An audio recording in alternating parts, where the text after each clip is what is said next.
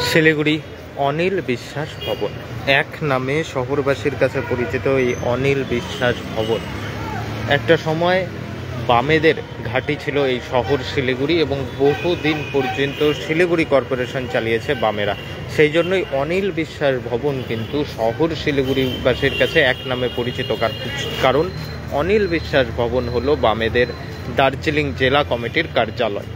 এই মুহূর্তে আমরা যে খবরটা নিয়ে এসেছি, শিলিগুড়ি হিলকার রোডে অবস্থিত অনিল বিশ্বাস ভবন এবং অনিল বিশ্বাস ভবনের ঠিক নিচে রয়েছে ন্যাশনাল বুক এজেন্সি, যেখানে বেশিরভাগ বাম সমর্থিত যে বইগুলি রয়েছে, সেই বইগুলো পাওয়া যায়। কিন্তু গতকাল যে প্রবল বৃষ্টি হয় শহর শিলিগুড়িতে, সেই প্রবল বৃষ্টির জেরে কিন্তু এই বইয়ের দোকান সম্পূর্ণ জলমগ্ন এখনও জলমগ্ন হয়ে পড়েছে। চিত্রটা আমরা তুলে ধরছি আপনাদের সামনে। বই ভাসছে এবং বই রাখার যে বিভিন্ন আসবাবপত্র রয়েছে সেই আসবাবপত্র জলের তলায় ডুবে রয়েছে।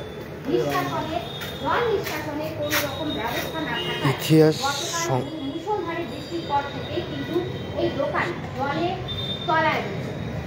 ইতিহাসের সাথে যুক্ত, ভারতের স্বাধীনতা সংগ্রামের সাথে যুক্ত বেশিরভাগ বই কিন্তু পাওয়া যায় এই এনবিএ অর্থাৎ ন্যাশনাল বুক এজেন্সিতে গতকালের যে প্রবল বৃষ্টি শহর শিলিগুড়ি জুড়ে সেই প্রবল বৃষ্টির জেরে কিন্তু জলমগ্ন হয়ে পড়ে অনিল বিশ্বাস ভবন, বাম কার্যালয় অনিল বিশ্বাস ভবনের নিচে থাকা এই বইয়ের দোকান এবং পরিস্থিতিটা আপনাদের সামনে তুলে ধরছি।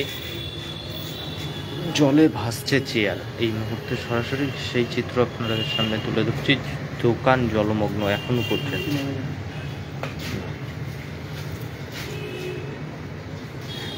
ভিতরে একটা ফুস করে হইতেই পারে।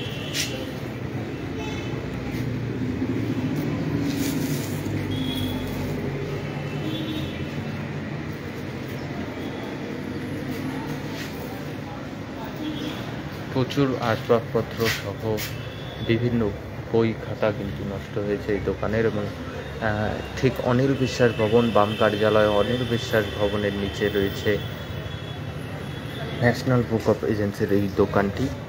গতকাল প্রবল বৃষ্টিতে কিন্তু শহর শিলিগুড়ির বিভিন্ন প্রান্ত জলমগ্ন হয়ে পড়েছিল।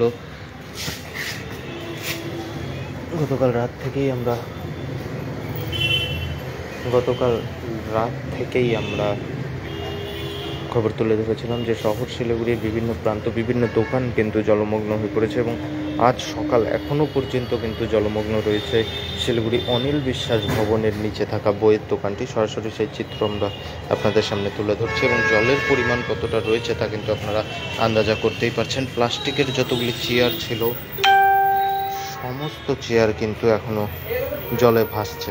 বৃষ্টি কিন্তু থেমে গিয়েছে অনেকক্ষণ আগেই, কিন্তু জল নিকাশনের কোনো রকম ব্যবস্থা না থাকায় কিন্তু এখনও জলে ভাসছে জলে ভাসছে এই দোকানের চেয়ারগুলি। জলের নিচেই ডুবে রয়েছে অর্ধেক দোকান এবং দোকানের বহু সামগ্রী কিন্তু নষ্ট হয়েছে ইতিমধ্যে। সরাসরি অনিল বিশ্বাস ভবনের যে গ্রাউন্ড ফ্লোর রয়েছে, সেই গ্রাউন্ড ফ্লোরে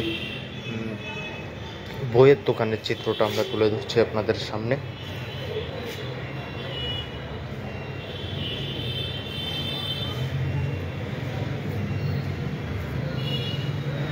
বামেদের দার্জিলিং জেলা কার্যালয় অনিল বিশ্বাস ভবন এবং সেই অনিল বিশ্বাস ভবনের নিচে থাকা বইয়ের দোকানের এই মুহূর্তের পরিস্থিতিটা আপনাদের সামনে তুলে ধরছি আমরা।